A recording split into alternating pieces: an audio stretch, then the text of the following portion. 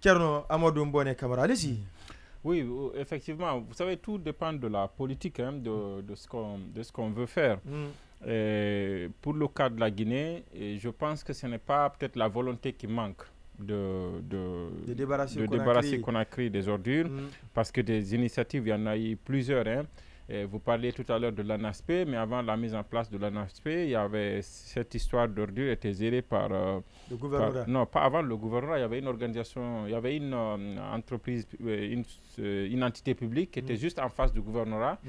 là où il y a les installations de énergie en ce moment. Il y avait cette entité qui gérait les histoires d'assainissement. Après, mm. on a ramené au gouvernorat. Après, on a le SPTD. Voilà, le SPTD, Service public de, de transfert des déchets. Après, le SPTD, c'est le gouvernorat. En ce moment, on a vu Zoom Lion, un jumelage avec le Ghana parce qu'on a estimé qu'à Accra, euh, la structure marchait convenablement. Exactement. Donc après, on a envoyé ça au gouvernement. Mm. Et du gouvernement, on a envoyé. Sur bas, sur voilà, sur bas, sur Après, on a ramené. coup de balai, Exactement. puis le samedi. Voilà, c'était d'où est, est venue cette histoire de samedi. C'était samedi d'assainissement. Et donc après, on est parti. Ça s'appelle le coup de balai. Exactement. Après, on est parti, euh, on est parti à l'administration du territoire. On a ramené ça après. Avant ça, on a ramené ça au niveau de la défense. Au ministère de, la Défense. au niveau de, on a réquisitionné du génie civil. Oui, bien Exactement. Après, on a, on a, eu aussi, euh, il y avait des financements qui étaient annoncés pour, euh, euh, pour déplacer la décharge, par exemple, de Dar Salam là, vers mhm. Kagbélé. Et après, il y a eu un éboulement qui a tué des personnes mhm. dans ce, au niveau de cette décharge-là. chaque fois, quand même, il y avait eu des tentatives, il y avait eu des, annonces qui ont été faites, des volontés qui étaient là. Mhm. Mais après, on n'est pas allé à bout parce qu'effectivement, le problème, c'est qu'on n'a pas une politique nationale de gestion des déchets. Parce que même quand la chaîne qu'expliquait euh, Sekoula marche euh, très bien, elle n'est pas finie. C'est-à-dire que euh, sortir les ordures, prendre les ordures, mais on les envoie où? Les ordures de Conakry, on les envoie où? On les envoie soit à la décharge d'Arsalam, mm. qui a comme, fini par engloutir tout le quartier et mm. a donné des maladies à tous ces endroits-là, mm. ou alors peut-être on les incinère. Alors que l'incinération n'est pas effectivement la solution qui est recommandée aujourd'hui.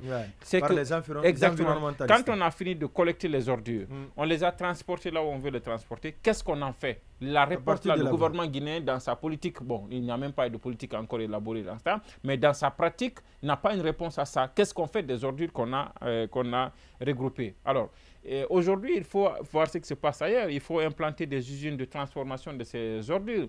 Il, il faut accompagner des petites industries. Autant de Papakoli Kourouma, qui était ministre en charge de, de l'assainissement aussi. Mm. Moi, je l'ai accompagné une fois à Kakbelen, voir une dame qui avait un atelier de fabrication de dalettes sur, euh, qui se, dont la matière première, ce sont les plastiques, mm. qui sont des ordures les plus dangereuses, qui peuvent rester, qui ne sont pas, qui sont des ordures non biodégradables. Donc, mm. des initiatives comme ça, on les développe, on les accompagne parce qu'on veut euh, euh, euh, trouver une solution à, un problème. Mm. Mais on n'a pas, pour résumer, on n'a pas une politique de de gestion des, décès, et même la législation hein, en la matière. Mm. Elle est évasive. Elle non, à un moment donné, elle n'existait pas. Peut-être que les choses ont évolué. On a parlé ici de la mise en place de la police verte, mais on s'est rendu compte tout de suite que même quand on crée la police verte, mm. il faut qu'il y ait une loi. Par exemple, si on prend quelqu'un qui jette des ordures sur la voie publique, mm. pour l'amener devant un juge, il faut bien qu'il ait une base juridique. Il faut qu'il y ait une loi sur la base de laquelle...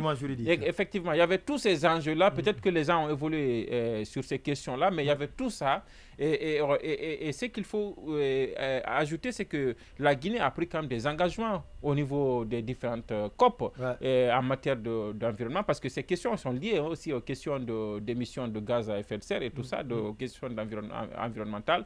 Et, c'est une obligation pour le gouvernement d'offrir un cadre de vie sain à la population. Bien entendu. Et je pense qu'il il faudrait qu'on aille vite aux élections et que les candidats aux futures élections mm. puissent euh, commencer dès maintenant à réfléchir à ces questions-là pour mm. répondre à cette demande sociale. Elle est vraiment accentuée, mm. celle d'avoir un cadre de vie 5 à Conakry, mais aussi de savoir quand on a produit des déchets. Parfois, les gens sont de bonne foi. Hein. Quand ils produisent, il y en a qui font des efforts dans les quartiers, hein, qui, dans leur cadre familial, euh, qui essaient de là, mais après, ils envoient les ordures où?